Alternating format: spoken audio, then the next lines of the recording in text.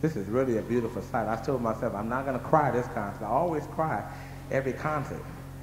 I start crying and tears, and I said, oh, I sound like an idiot sitting there, big old man crying. but I'm, I'm really thankful to God because I think of our beginning. And our beginning, we basically couldn't hardly raise $200. I used to beg people and beg, just give us a dollar.